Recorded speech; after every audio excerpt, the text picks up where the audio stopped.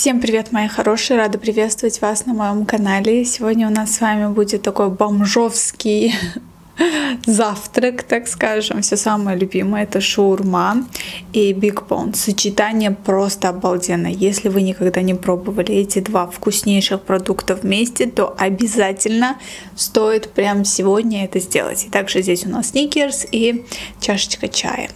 Давайте приступим, не будем терять ни минуты. Сегодня буду отвечать на ваши интересные вопросы, которые вы мне позадавали в Инстаграме. Один из этих вопросов, давайте не будем терять время и сразу начнем.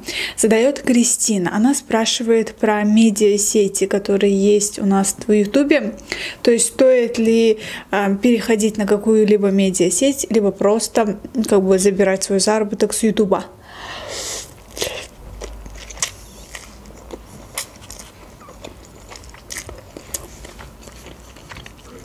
Я не особо глубоко мыслю в этом вопросе, потому что у меня нету партнерской системы, я не пользуюсь ею просто. Вот. И однажды у меня уже был канал, который я вела лет пять назад. Я тогда была на первом курсе. И вот тогда мне написали о том, что вот ты можешь подключиться к медиасети и зарабатывать больше денег, больше дохода. Это была компания, по Air.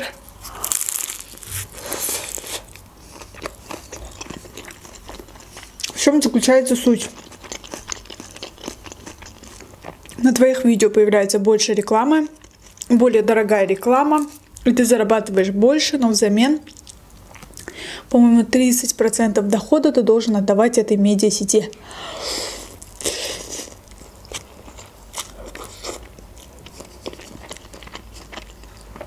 Это как у певцов продюсер. Ну что такое? Они типа помогают тебе выбирать интересные темы для видео, там какие-то идеи подбрасывают.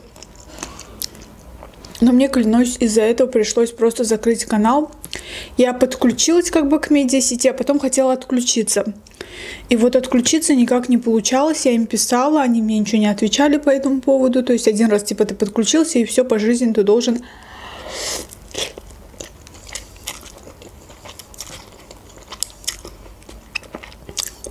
работать с ними. У меня тогда был канал на азербайджанском языке, и меня это бесило, что теперь до конца жизни я должна работать с ними. Я хотела закрыть этот канал, открыть другой заново, хотя на этом канале у меня уже было, не помню, около тысячи подписчиков.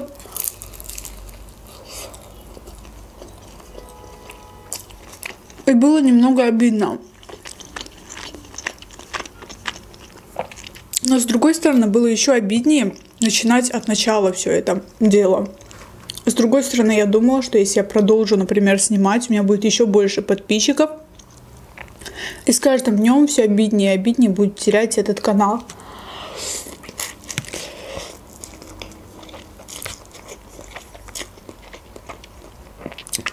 Поэтому такие вот дела. Но есть и куча плюсов, там медиасети. Если у тебя украдут канал, они тебе помогут.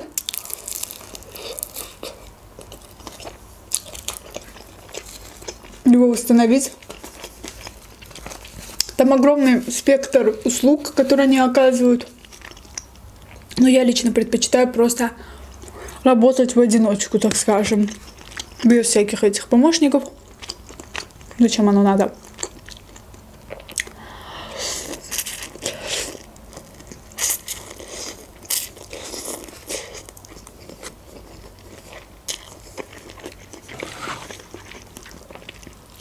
Хочешь решать тебе?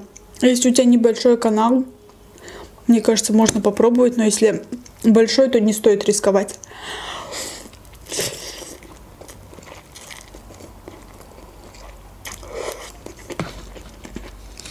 Какая вкусная лапша. Это прям нечто очень-очень вкусно. А в сочетании просто с шаурмой волшебно.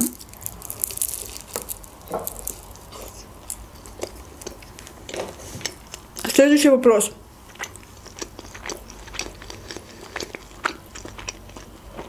Спасибо огромное за хорошие слова, которые вы писали под видео, где я показываю папу.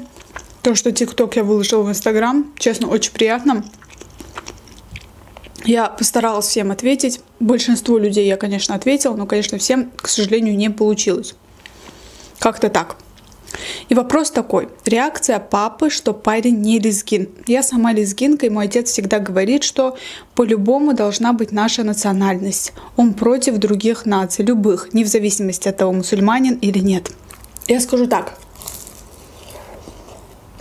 Мой папа очень бы хотел, чтобы мой избранник был лезгином. Очень. Но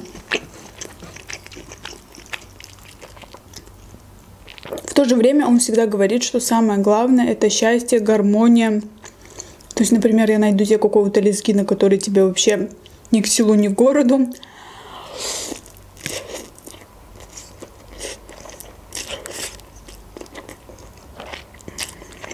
Единственное, папа против, когда между парнем и девушкой, которые, например, женятся, создают семью, большая разница в материальном плане. Например, девушка из очень богатой семьи, парень какой-то бедный, например, или наоборот.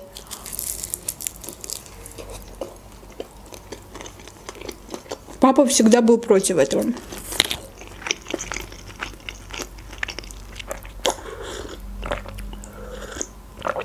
Хотя я считаю, что если ну, нормальная семья, есть любовь, что здесь такого?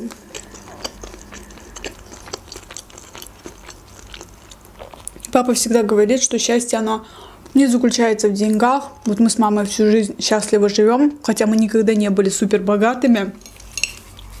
И вот эти вот дорогие сумочки, не знаю, яхты и все дела, не в этом во всем счастье. На нормальную жизнь можно заработать, а вот эти вот все побрякушки, они не нужны для счастья.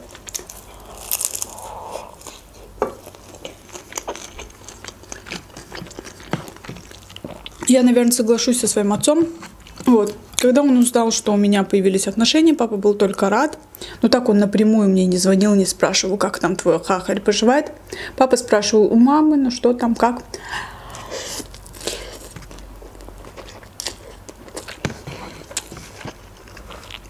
Папа безумно любит детей, и он хочет, чтобы у него появились внуки. Поэтому, естественно, он счастлив за меня, если у меня все хорошо. А то, что лезгин не лезгин, это его как бы сильно прям не волнует на самом деле. Изначально волновало, но потом со временем у нас есть один родственник, он выдал двух дочерей замуж, одну за лезгина,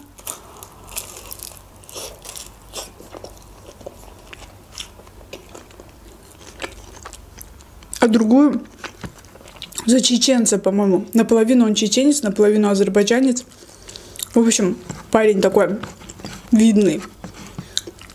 Когда девушка выходила замуж за чеченца, немножко все родственники были как бы против не нашей национальности все дела.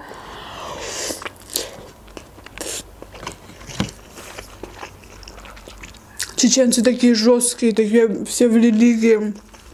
А сейчас объективно со стороны я смотрю и на ту, и на другую свою родственницу и понимаю, что та, которая вышла замуж за лезгина, она несчастлива, а та, которая вышла за чеченца, она очень хорошо живет. И это не значит, что наши лезгины плохие. Дело в том, что все зависит от человека.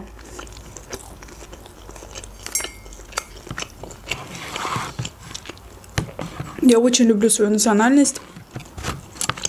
Очень меня они всегда очень поддерживают. Когда я только начала снимать видео, мне столько лезгинов писало, что Айка, мы тебя поддерживаем, молодец. То есть очень сплоченный народ, на мой взгляд.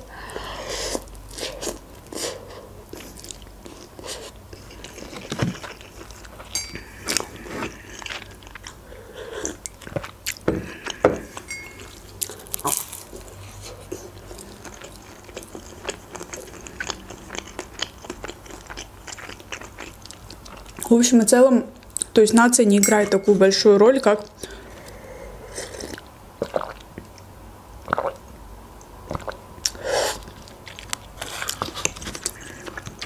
мама была подруга, и она выдала свою дочь за русского.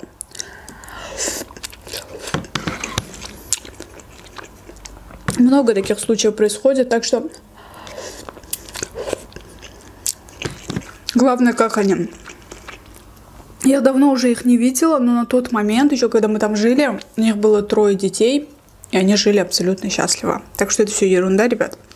Если любите, если хотите быть вместе, ничего вам не помешает. Я так думаю.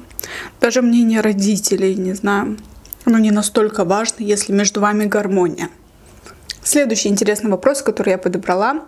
Айка, как ты считаешь, друзья должны говорить об ошибках своих друзей? У меня есть подруга, когда я ей говорю, что она что-то делает не так или одевается неправильно, она очень сильно на меня обижается. Я раньше считала, что обязательно нужно говорить своим друзьям, иначе какой же ты друг, если ты не говоришь, что здесь ты сделал что-то не так. Я считаю, что нужно говорить свое мнение только в том случае, если вас спрашивают. То есть, если тебя спрашивают, что как ты думаешь, это вот с этим сочетается, ты можешь сказать, что да или нет. Вообще мне не нравится это сочетание, этот цвет тебе вообще не к лицу. Но если тебя не спрашивают, и каждый раз ты как в каждой бочке затычка суешь свое мнение, оно не надо. Я когда только завела свой канал, спрашивала у некоторых своих подруг, с которыми сейчас уже не очень общаюсь. Ну так, только привет, пока. Я спрашивала, ну как тебе, например? И подруги честно говорили, мне кажется, Айка, ты занимаешься ерундой. Ну не получится у тебя набрать аудиторию, как-то, ну не твое это.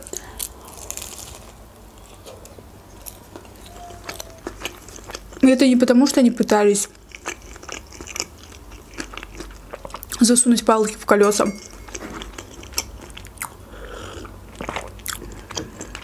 А просто это было их мнение на тот период. Сейчас я смотрю, что одна из этих подруг начала вести канал про вязание. Но у нее круто получается. Я всегда говорила, что вязание это такая тема, ну, которая сейчас не особо всем заходит.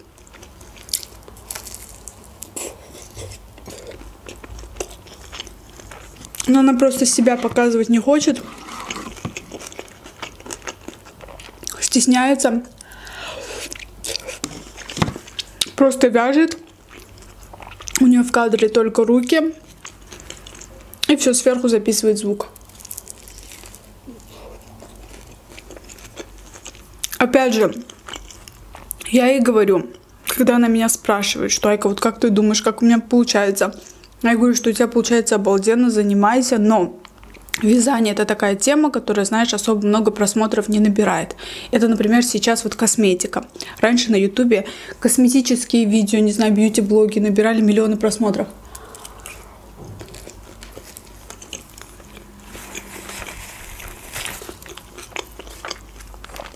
Сейчас уже очень сложно продвинуться.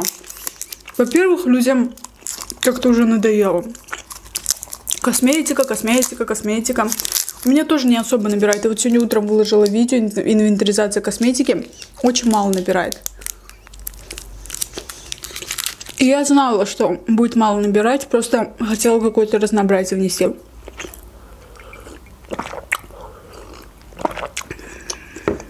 В общем, ребят, на этом все. Было очень вкусно. Обалденное сочетание. Обязательно попробуйте. Я вас всех очень сильно люблю. Не забывайте подписываться на мой канал, дабы поддержать меня. Всех люблю. Пока.